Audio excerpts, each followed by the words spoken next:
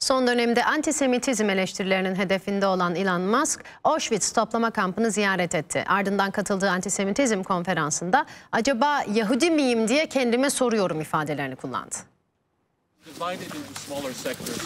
Antisemitizmi yaymakla eleştirildi. Sosyal medya platformu X'in sahibi Elon Musk, hakkındaki eleştirilere Auschwitz toplama kampı ziyaretiyle karşılık verdi.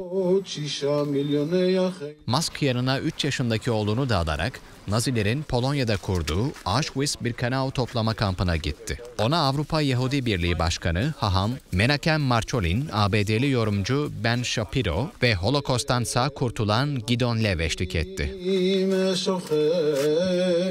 Musk başına kipa taktı. Yapılan duaya katıldı, ardından masadaki mumlardan birini yaktı.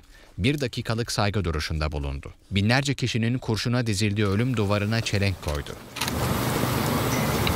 Musk, Krakow'daki antisemitizm konferansına da katıldı.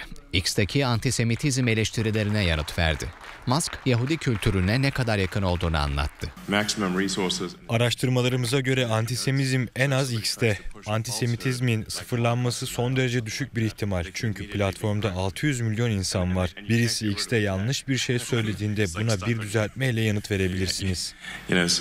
Yahudilerin arasında büyüdüğünden, Yahudi anaokuluna gittiğinden bahsetti. Adım bile Yahudi ismi gibi. Bazen acaba Yahudi miyim diye kendime soruyorum dedi.